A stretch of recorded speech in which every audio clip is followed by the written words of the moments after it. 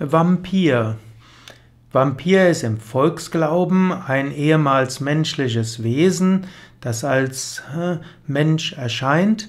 Ein Vampir erhält sein Leben durch den Genuss des Blutes eines lebendigen Menschen. Ein Vampir saugt das Blut aus einem Menschen, den Lebenssaft aus einem Menschen, er verschließt die Wunde, nachher bleiben nur zwei kleine rote Punkte übrig und manchmal geschieht es dann auch, dass ein Opfer des Vampirs durch den Biss auch zum Vampir wird. Es gibt viele Legenden um Vampire. Man kann Vampire auch feinstofflich deuten und kann sagen, ein Vampir ist ein Mensch oder auch ein Astralwesen, das lebt vom Prana, von der Lebensenergie eines anderen Menschen. Man kann sagen, es gibt Menschen, die bewusst oder unbewusst Leben, Prana bekommen von anderen Menschen, die das Prana von anderen Menschen brauchen, um selbst Energie zu bekommen. Und es gibt auch sogenannte erdgebundene Geister. Im Yoga würden wir sie Pretas nennen, denen es nicht gelingt, aufzusteigen in höhere Welten und die, wenn Menschen sich auf sie zu sehr einlassen, deren Prana nehmen, um selbst eine gewisse Energie und Kraft zu bekommen. Wenn du das Gefühl hast, dass jemand anders ein Vampir sei, der dir die Energie stiehlt, kannst du verschiedenes überlegen. Zunächst einmal angenommen, es ist ein physischer Mensch, also der einen Körper hat, hm, dann wäre ein Tipp, schicke ihm Licht, schicke ihm Energie, schicke ihm bewusst Licht und Energie. Wenn du ein spirituell praktizierender bist, dann kannst du jederzeit genügend Energie und genügend Kraft aufladen indem du bewusst auflädst mit Energie und Kraft, kannst du anderen Licht und Energie auch schicken. Und du brauchst keine Angst zu haben, dass jemand dir zu viel Energie nehmen würde. Wenn du außerdem das mit einem Mantra verbindest, dann ist es nicht deine eigene Energie, die du schickst, sondern du gibst die Energie des Göttlichen.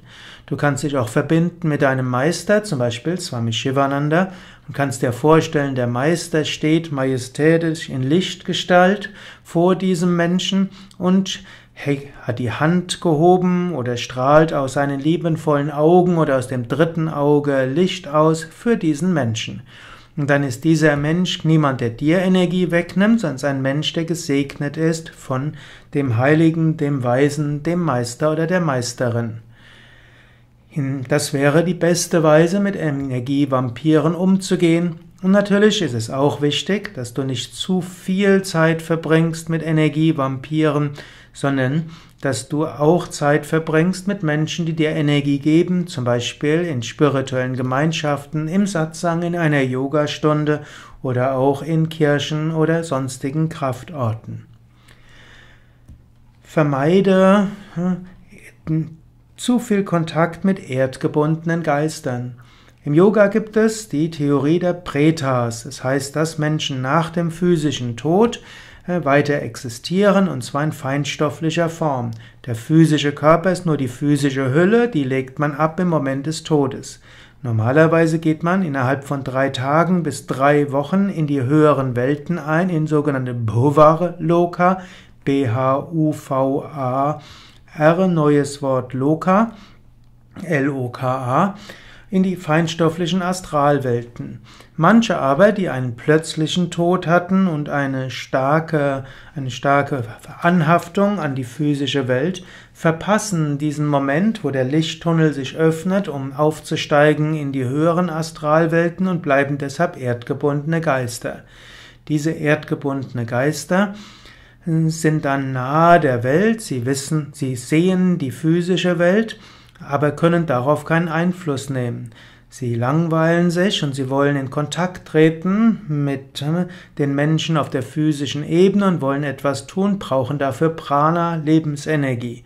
Da sie keine Möglichkeit haben, selbst Energie zu erzeugen, nehmen sie Energie von den Menschen, die auf der physischen Welt sind und werden so zu Energievampiren.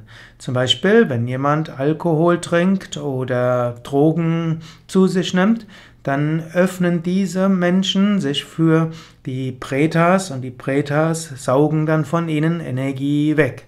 Oder auch Menschen, die sich mit Pretas beschäftigen, die zum Beispiel als Channel-Medien dienen oder auch äh, zu viel mit Wahrsagetechniken arbeiten und dabei nicht Vorsichtsmaßregeln ergreifen, um sich eben mit höheren Energien zu verbinden und nicht mit niederen, die werden zum Teil von erdgebundenen Geistern, den Pretas, gesteuert und so wird ihnen auch die Energie weggenommen. Daher empfehlen Yogis, nicht zu viel zu tun zu haben mit mantischen Praktiken, auch äh, natürlich sich nicht mit, also keine Drogen, kein Alkohol zu sich zu nehmen, damit man eben nicht die Energie genommen bekommt von Pretas.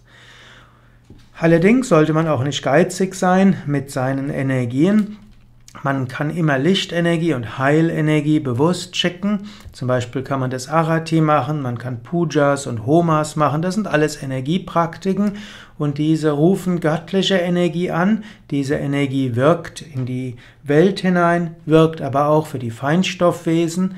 Und wenn wir Satsang zelebrieren, Arati, Puja, Homa machen, dann machen wir das nicht nur für die Menschen, die im physischen Körper sind, sondern wir wollen auch den Pretas, den erdgebundenen Geistern Kraft geben, mit dieser Energie in die höheren Welten aufzusteigen. Letztlich bei jedem Arati entsteht so etwas wie eine Lichtsäule, ein Lichtkanal, durch welche erdgebundene Geister aufsteigen können in die höheren Welten.